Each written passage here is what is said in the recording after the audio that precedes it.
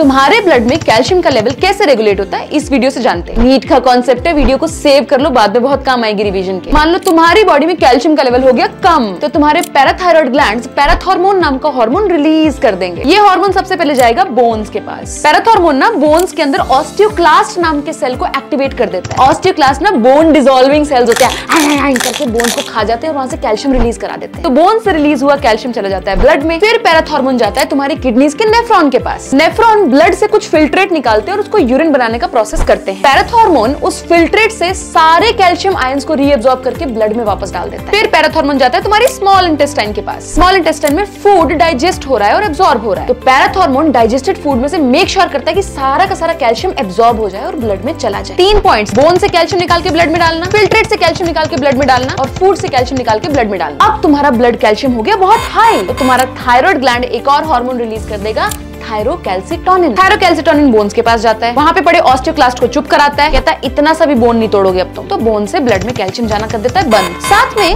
वो ब्लड से calcium ion उठा उठा के बोन में डालना शुरू कर देता तो बेसिकली ब्लड कैल्शियम मेंटेन होता है दो हार्मोन से। पैराथॉर्मोन से और कैल्सिटोनिन से। ऐसे ही और नीट के कॉन्सेप्ट समझने के लिए फॉलो कीजिए बायोफेरी को।